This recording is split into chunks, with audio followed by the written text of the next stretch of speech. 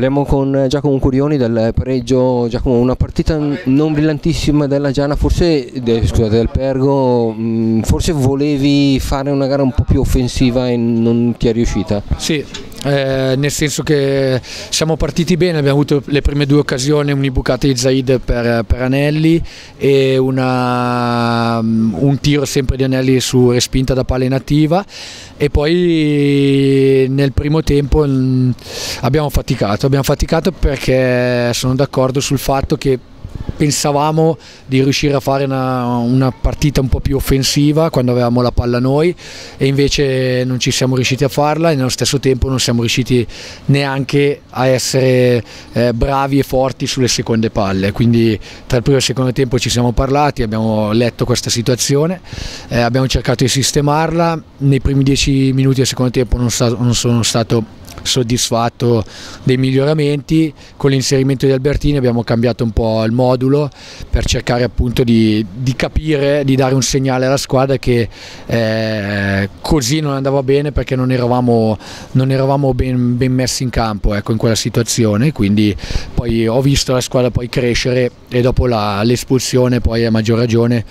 eh, cercavamo ecco, la situazione per, poter, per poterla vincere. Ecco. Quella cosa volevo chiederti, insomma, eh, ci sono state parecchie palle eh, su Parker, eh, ma cos'è mancato? Non sono arrivate sulle seconde palle, forse è mancata un po' di determinazione, un po' di voglia eh, oggi? No, non è determinazione, non è voglia, ci è mancata un po' la costanza nel, nel riproporre quello che avevamo preparato, nel senso che non era stata preparata per, per giocare la palla lunga su Parker. Eh, eh, era preparata per coinvolgere di più le catene esterne. Eh, non ci siamo riusciti a farlo e, e, quindi abbiamo adottato quella soluzione lì lunga,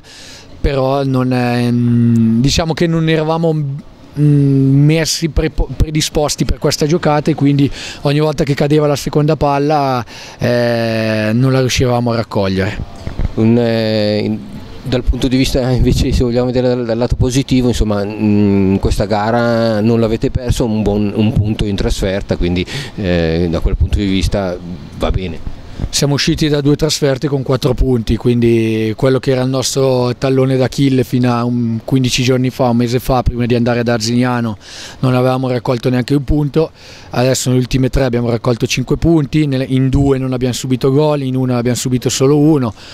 eh, incontravamo la Giana che era una squadra in salute perché nonostante l'ultima sconfitta di Trento dove meritava qualcosa in più veniva da due vittorie più la vittoria in Coppa Italia quindi eh, va bene, eh, accettiamo, portiamo avanti, siamo ancora fuori dai play-out, ci sono tanti aspetti positivi. Eh, adesso si torna in campo con Renate, insomma è un po' che manca la vittoria al Voltini. Sì, eh, da qualche partita non sono mancate le prestazioni perché l'ultima con l'Alcione abbiamo fatto forse una delle migliori partite della, della stagione, eh, quella prima col Padova è stata un po' proibitiva nonostante la squadra avesse fatto una buona, una buona prestazione,